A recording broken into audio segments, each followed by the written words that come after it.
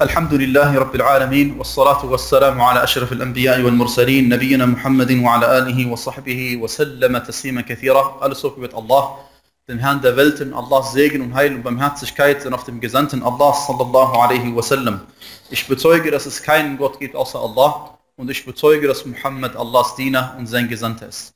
Meine lieben Geschwister, ich ermahne euch mit der gleichen Ermahnung, mit der Allah Azza wa Jal die Menschen vor uns ermahnt hat und auch die Menschen der besten Zeiten ermahnt hat, als er sagte sinngemäß, dass Allah, als Allah subhanahu wa ta'ala im Koran, in Surat al-Nisa, sinngemäß sagte, wir haben, euch, wir haben bereits die Menschen, die vor euch waren, vom Volke der Schrift, dazu aufgefordert und auch euch dazu aufgefordert, Allah zu fürchten.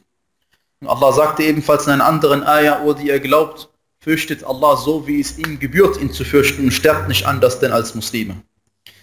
Liebe Geschwister, eine Form, sich vor Allah Azza zu fürchten, beziehungsweise sich vor ihm vorzusehen und vor seinem Vorn in Schutz zu nehmen, ist das, was der Gesandte Allah sallallahu alaihi wasallam im folgenden Hadith gesagt hat, der bei Imam Muslim in seinem Sahih-Werk überliefert wird. Er sagte, alles an einem Muslim ist dem anderen Muslim verboten. Sein Blut, sein Geld, und seine Würde. Sein Blut, sein Leben ist unantastbar. Und auch sein Vermögen, sein Eigentum, sein Geld und auch seine Würde, man darf ihn also nicht verletzen.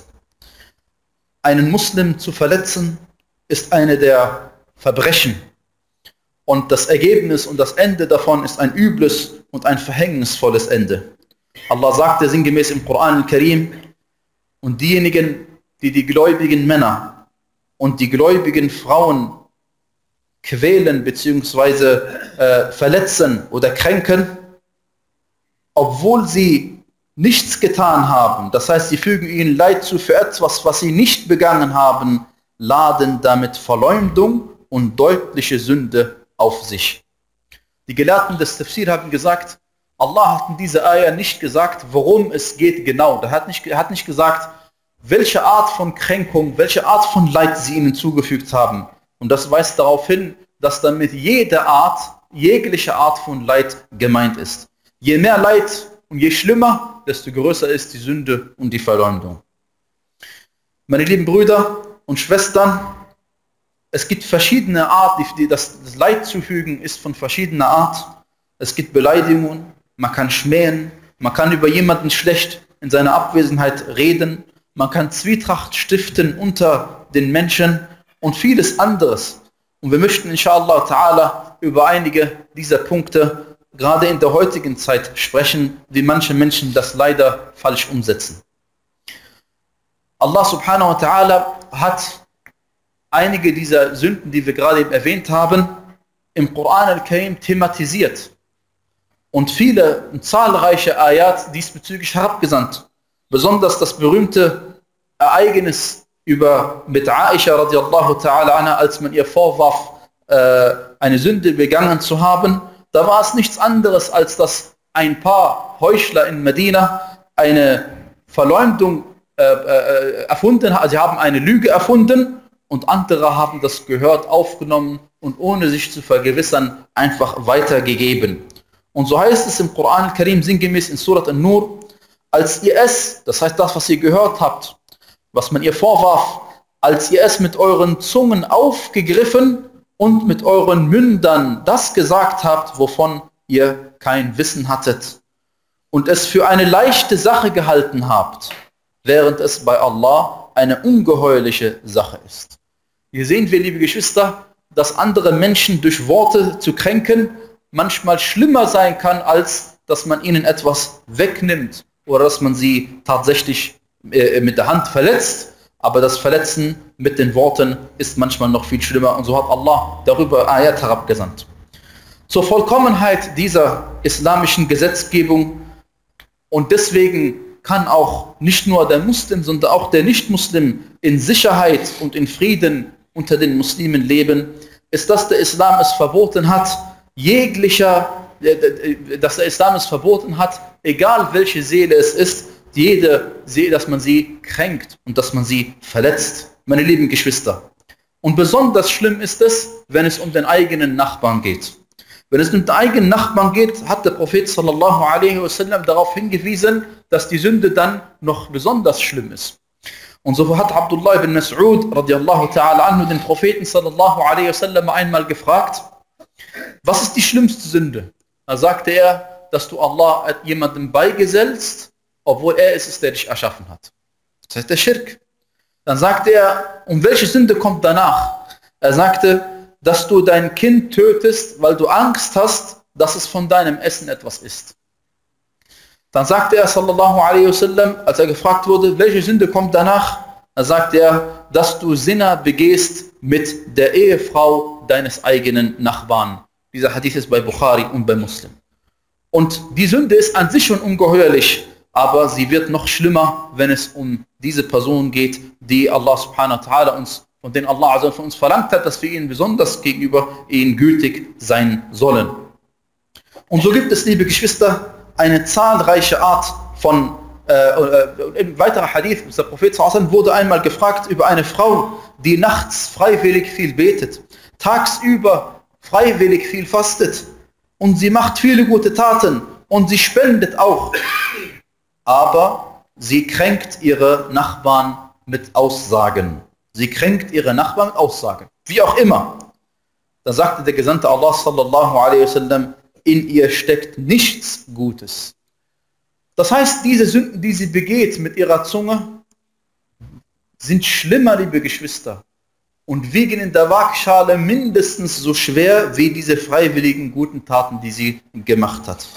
Und man erkennt daran, dieser wichtige Grundsatz bei uns, dass wenn es darauf ankommt, ob man eine freiwillige gute Tat macht oder ob man eine Sünde unterlässt, etwas Schlechtes unterlässt, dann hat eben das Unterlassen der schlechten Tat Vorrang gegenüber der freiwilligen guten Tat. Dann sagte man zum Propheten sallallahu alaihi wasallam, was ist mit einer Frau, die so und so, sie betet ihre Pflichtgebete nur. Das heißt, sie macht nichts Freiwilliges. Und wenn sie spendet, spendet sie eine Art getrocknete Milch, das heißt etwas absolut Unwertvolles, etwas Wertloses. Aber, obwohl sie nur wenig macht, sie kränkt niemanden. Da sagte der Gesandte Allah sallallahu alaihi wasallam, sie gehört zu den Paradiesbewohnern. Dieser Hadith ist in Shu'ab al-Iman von Imam Bayhaqin al-Hakim überliefert worden und er sagte, es sahih. Und dieser Hadith, liebe Geschwister, bedeutet, dass der Muslim, nachdem er seine Pflichtsachen gemacht hat, das Erste, was er aufpassen soll, ist, dass er niemanden kränken soll und niemanden verletzen soll. Äh, bevor ich weiter rede, bitte ich euch, liebe Geschwister, nach vorne zu rücken, Barakallah fikum, denn es gibt nur ein paar Geschwister, die keinen Platz draußen gefunden haben. Bitte rückt nach vorne, Barakallah fikum, soweit ihr könnt.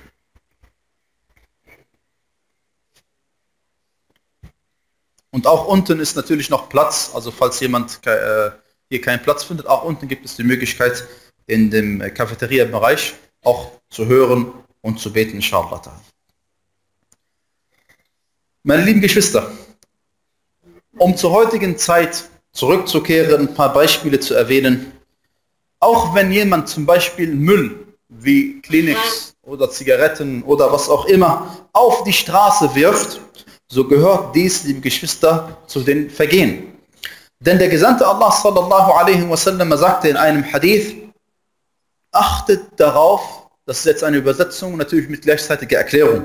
Er sagte, achtet vor den beiden Dingen, die dazu führen, dass man euch beleidigt und verflucht. Man sagte zu ihm, was sind denn diese beiden Dinge, die, wenn man sie tut, man beleidigt und verflucht wird, o Gesandter Allahs. Er sagte, wenn man sein Geschäft auf den Wegen der Menschen oder in ihrem Schatten verrichtet. Was ist damit gemeint? Auf den Wegen der Menschen ist klar. Auf der Straße, auf dem Weg, wo die Leute spazieren gehen, dann nicht da jemand reintritt und so weiter und so fort. Und der Schatten, damit ist gemeint, es gibt Bereiche, die sind bekannt. Bei Parks, bestimmte Bäume, die Schatten spenden, dass die Leute sich darunter ausruhen und die Leute darunter sich, sich bequem machen und vielleicht Picknick machen oder ähnliches. Und an solchen Orten darf man nicht sein, darf man sich nicht sagt er sallallahu alaihi wasallam, an solchen Orten darf man sein Geschäft nicht verrichten. Und dieses Beispiel ist ein Beispiel. Das heißt aber nicht, dass man andere Sachen machen darf, die seinen muslimischen Bruder an dieser Stelle kränken, sondern das ist ein Beispiel dafür. Andere machen es, wie gesagt, mit ihrem Müll, dass sie, äh, wie heißt es, nicht in den Mülleimer schmeißen wollen und ähnliches. Dieser Hadith ist bei Sahih Muslim überliefert worden. Das gleiche, liebe Geschwister, um es zu übertragen auf die heutige Zeit, manche unserer äh, äh, Mitmenschen, wenn sie zum Beispiel auf die Toilette gehen, in der Moschee oder auch außerhalb der Moschee, verlassen sie sie nicht, so wie sie sie vorgefunden haben. Und das ist auch eine Art Kränkung deines Bruders, der nach dir kommt und wenn er dich nicht mit Worten beleidigt oder verflucht, so macht er es zumindest mit seinem Herzen und er wird sich was dabei denken.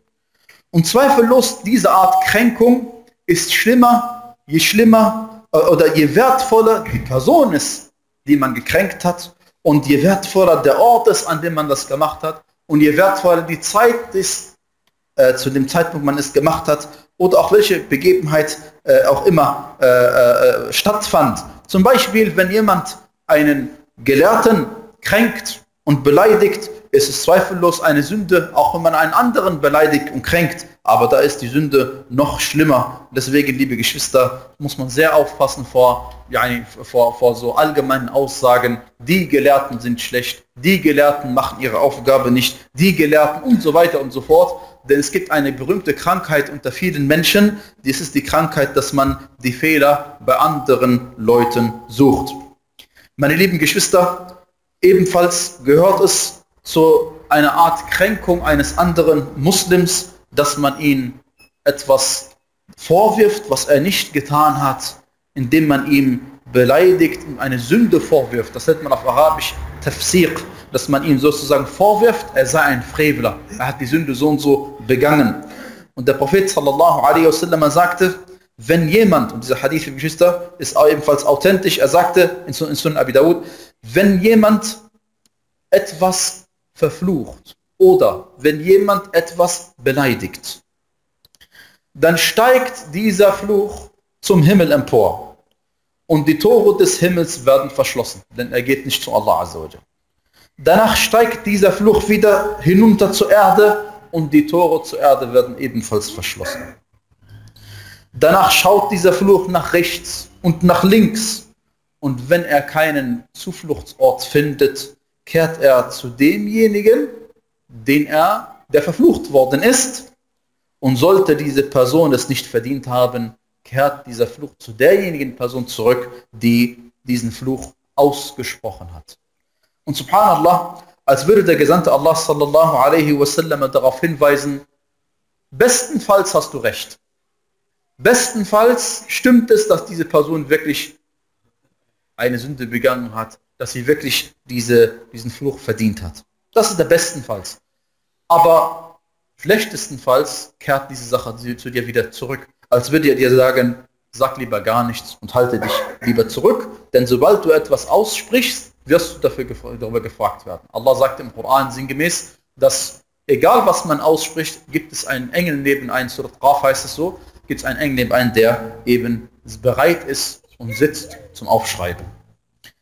Liebe Brüder, liebe Schwestern, zu guter Letzt, wenn man seinem Mitmenschen ein Unrecht angetan hat, ist es schwierig und anstrengend, sich davor, davon loszusagen.